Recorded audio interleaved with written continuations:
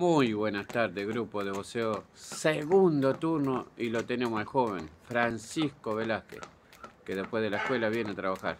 Felicitaciones a los que se esfuerzan este invierno, ¿eh? Vamos, hay que trabajar, señores, no hay otra. Que Dios los bendiga.